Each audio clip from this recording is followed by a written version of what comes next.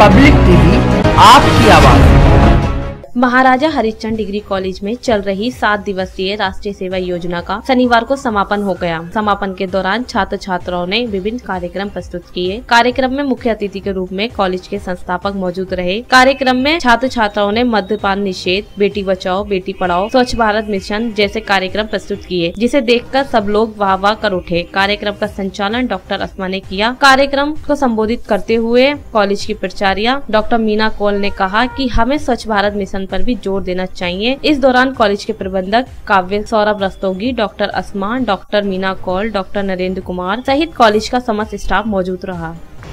आज राष्ट्रीय सेवा योजना के सात दिवसीय शिविर का समापन समारोह महाराजा हरीशचंद कॉलेज में आयोजित किया गया है, जिसमें तमाम दिनों में जितने भी स्टूडेंट्स ने जो जो भी काम किए हैं, उन सभी को एक एक झलकियों के माध्यम से हमने यहाँ प्रस्तुत किया। जैसे बेटी बचाओ, बेटी पढ़ाओ कार्यक्रम में एक झलकी प्रस्तुत की। उसके अलावा मध्य निषेध पर, मतदान जागरूकता पर, स्वच्छता, स्वच्छ भारत अभियान के तहत जितने भी प्रोग्राम को लेकर के इन सात दिनों में हमने चर्चा की थी और जागरूकता की थी, उन्हीं विषयों को लेकर के एक एक झलकियाँ छात्र एवं छात्राओं द्वारा प्रस्तुत की गई। इसके अलावा मुख्य अतिथि के तौर पर हमारे कॉलेज के संरक्षक डॉक्टर विश्वकतार जैमिनी सर यहाँ पर मौजूद रहे।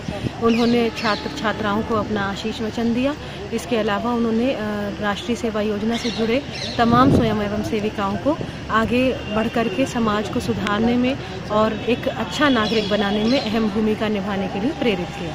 एक समारोह का आयोजन किया है। उसी के लिए आज हम लोग हैं। बच्चों के द्वारा बहुत अच्छा लगा। हमारे स्वयं सेवक सेविकाओं ने इन छः दिन में जो खुद महसूस किया, जो कुछ उन्होंने देखा, उसी को विभिन्न गीतों के माध्यम से, कविताओं के माध्यम से और झलकियों के माध्यम से यहाँ प्रस्तुत किया और एक झलकी स्टूडेंट ने जो सम सेवक सेवक आए थे, उन्होंने मध्यपान के निषेध के ऊपर की थी और दूसरी झलकी स्टूडेंट ने निरक्षरता के ऊपर की थी और सबसे ज़्यादा खुशी इस बात की हुई कि स्टूडेंट ने उसकी स्क्रिप्ट, उस बस्तियों को देखकर खुद ही तैयार की और खुद ही उसको यहाँ पर प्रस्तुत किया मैम, समाज में, समाज से क्या वैसे करना चाहिए।